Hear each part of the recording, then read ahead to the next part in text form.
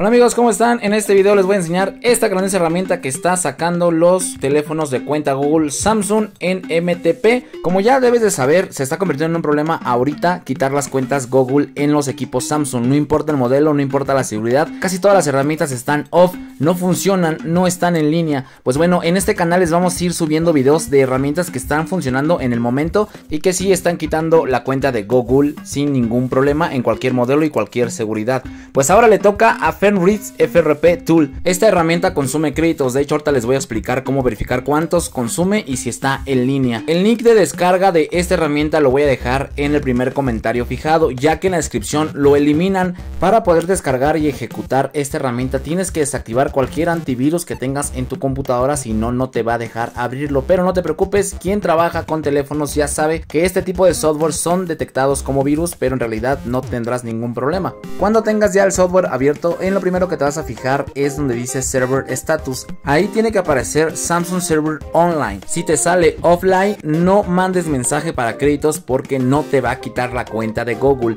En esto sí pon mucha atención porque no quiero malos entendidos. Por ejemplo, abajo dice Xiaomi Server y ahí está offline. Quiere decir que está fuera de línea. O sea que el día de hoy no está quitando las cuentas Google en Xiaomi porque también funciona para eso esta herramienta. Entonces si en Samsung aparece online aprovecha porque la está quitando sin importar el modelo ni la versión siempre y cuando aparezca en status Taylor. Ahora te voy a mostrar dónde checar eso. Después lo segundo que tienes que hacer es fijarte en donde está el apartado Samsung. Dice un log FRP y ahí entre paréntesis aparece un número. En esta ocasión dice 25 créditos. Pero a ti en cualquier momento dependiendo del día en que abras la herramienta te puede variar, puede subir, puede bajar. Estos son los créditos que tú vas a necesitar para tu desbloqueo. Otra excelente noticia es que yo los vendo así con toda la seguridad de que van a quedar agregados sin ningún problema vas a tener tu teléfono desbloqueado. Quédate al final del video porque te voy a decir cómo me puedes contactar para comprar tus créditos o pedir el desbloqueo remoto. Antes que nada les quiero aclarar que los 25 créditos que está pidiendo en este momento para cada dispositivo es un precio elevado. No conviene en todos los dispositivos, están todos soportados pero no en todos conviene por cuestión del dinero. Conviene más en equipos de gama alta premium como por ejemplo el S22 Ultra todavía vale la pena desbloquearlo a este costo. Yo sé que en algún momento van a bajar para todos aquellos que tienen equipos que no son tan caros les conviene esperar a que baje el costo de créditos en esta herramienta o en cualquier otra herramienta. Por el momento solamente equipos de gama alta para arriba son los que convienen. Ahora ya sabemos que está en línea y cuántos créditos necesitamos. Vámonos a lo bueno. Vamos a agarrar el teléfono y lo vamos a conectar prendido en donde pide la cuenta de Google. Una vez que tú lo conectes encendido te vas a ir al administrador de dispositivos de Windows y ahí vas a ver en dispositivos portátiles el nombre del teléfono que vas a desbloquear. En esta ocasión es el Galaxy S22 Ultra y de hecho ahí aparece el driver MTP. Ya con el controlador ahí en el administrador dispositivo nos vamos al programa y en Port seleccionamos el correspondiente a nuestro dispositivo. En esta ocasión salen dos, a ti te pueden salir más o sencillamente solamente uno. Si te sale solamente uno ya la tienes más fácil, selecciona ese, seguramente es el correcto.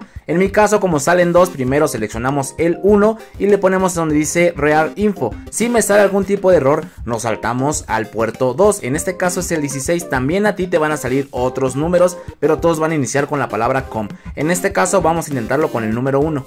Ahí ya lo seleccionamos y le damos en leer información. Luego luego nos marca un error, eso quiere decir que ese no era. Vamos a intentarlo con el segundo y ese tiene que ser porque ya no hay otro. En el caso de que tú selecciones todos y en todos te marque error, revisa tus drivers, aunque es muy raro que te suceda. En esta ocasión debe de ser este y mira ya empezó a leer la información. Aquí es muy importante que te fijes en la última línea donde dice Readlock Status te aparece Trigger. Si te aparece así es 100% compatible. Ahora nos vamos a registrar en la herramienta para poder ingresar créditos. Estoy seguro que ya te diste cuenta que allá arriba dice login y registrar. Obviamente le vamos a dar en donde dice registrar, pero antes de que lo hagas, primero en este recuadro donde dice email y password, los vas a rellenar. Te sugiero que pongas un correo 100% oficial, o sea que sí sea tuyo para que no tengas problemas. Ahí le vas a poner el correo y en la parte de abajo le vas a poner un password. Ahora sí le das en registrar y aquí te va a pedir un nombre de usuario. Yo voy a poner uno que contenga más de cuatro dígitos o cuatro letras. En esta ocasión vamos a poner ese y le vamos a poner en aceptar.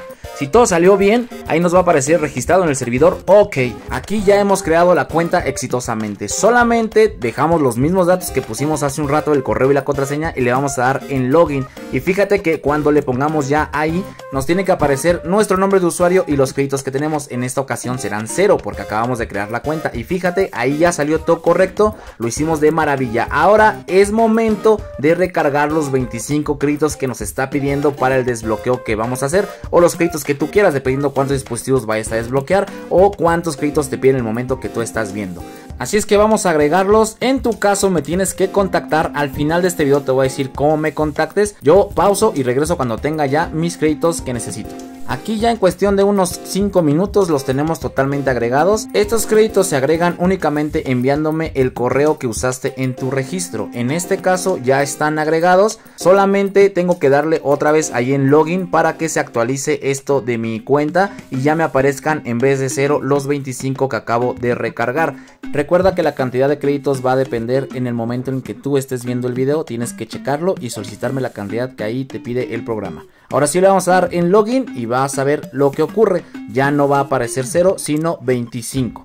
Ahora que ya tenemos los créditos agregados, le vamos a poner otra vez en leer información. Recuerda que el teléfono sigue conectado, prendido en donde pide la cuenta Google. Y volvemos a darle una lectura para que no se haya desconectado y no tengamos ningún problema. Volvemos a verificar que nos sale en Tiger. Y ahora sí, como ya tenemos los créditos, le vamos a poner en donde dice un log FRP.